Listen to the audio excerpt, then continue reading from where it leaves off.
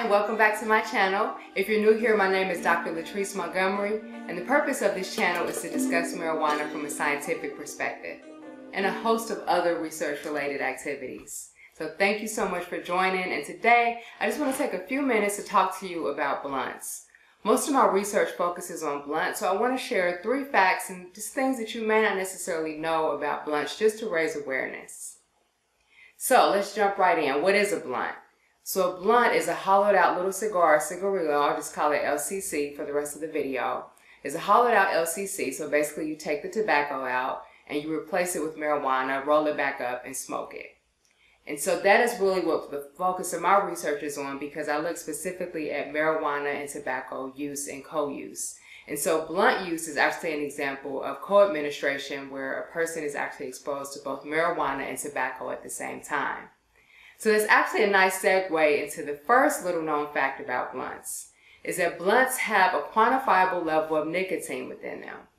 And this is actually a little known fact because oftentimes people believe that if they remove all of the tobacco out of the blunt, that they have no exposure to nicotine. But unfortunately, and that's not true.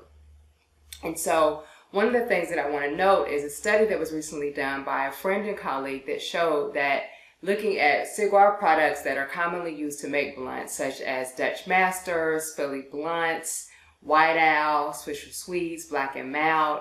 When you look at those and look at those in the lab and just look at the wrapper alone, they found that there's 1.2 to 6 milligrams of nicotine within each wrapper. So that means that even if a person removes all of the tobacco out of their blunt, they're still being exposed to nicotine through the wrapper. So, Second thing you may not necessarily know about blunts is that the products or the LCCs that are used to make blunts are very similar to that of alcohol. And um, as you know, in the African American community in particular, there are a huge proportion of liquor stores that are there, and the African American community is targeted by the alcohol industry in that way. And so in the same way that we're likely to see, more likely to see liquor stores in the corner of minority communities relative to other communities, that's the same thing that's happening with the tobacco products. Not only with menthol cigarettes, but also with LCCs, particularly flavored products. And so there are many different tactics that the tobacco industry uses to try to target minority communities with these products. They are not only targeting minority communities, but they're also targeting communities with high proportions of young adults and high proportion of low-income residents. And so again, just some of those same strategies and tactics that we are familiar with and that we hear about related to menthol cigarettes and to alcohol, particularly in the African American community, those same things apply to LCC products. Number three, something that you may not necessarily know. And this is an area that I spend a lot of time in just because, as I mentioned, I am a researcher and most of my research focuses on blunts. So, with blunts, they can be very difficult to study. So, if you remember from, from one of my previous videos, I talked about marijuana use and I talked about research and some of the barriers that we face. And so, therefore, there's not as many studies as we would like there to be in this space. But when we talk about blunts in particular, the number is even smaller in terms of the studies that are being uh, conducted or that have been conducted. And there are several reasons for that um, and several things that need to be worked out in this area um, of research. And one is some around some of the issues that I talked about before. So how do you identify a blunt smoker? So for example, in some surveys that are currently available, you may ask a person if they smoke cigars and they may say, no, I don't. But later on, if you ask someone if they smoke blunts, they'll say, yes, I do. And so people may not necessarily acknowledge themselves or think of themselves as a tobacco user, but they might only see themselves as a marijuana user.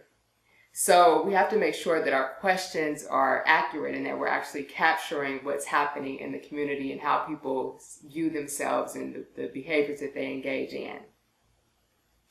Another thing to think about is that when we think of blunt use in particular, people use blunts in so many different types of ways. And so the way that one person rolls their blunt up, how much marijuana a person uses, what type of products they use, how much tobacco that is left inside of it because not everyone removes all of the tobacco out of their blunt.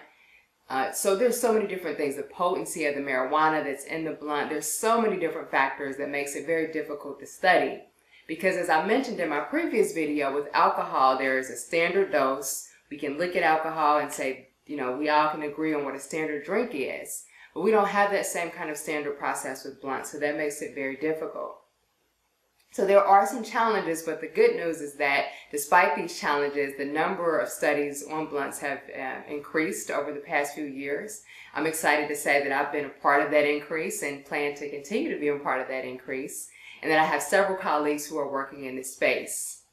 So all of that to say, whether you're a clinician, a researcher, a student, just out in the community, if you have any interest in learning more about blunts or things that you want to contribute, things that you think that I and other researchers should know about blunts so that we can adequately study this issue, please let me know. Please feel free to leave it down in the comments because I'm excited and definitely want to hear from you and hear your thoughts on this issue.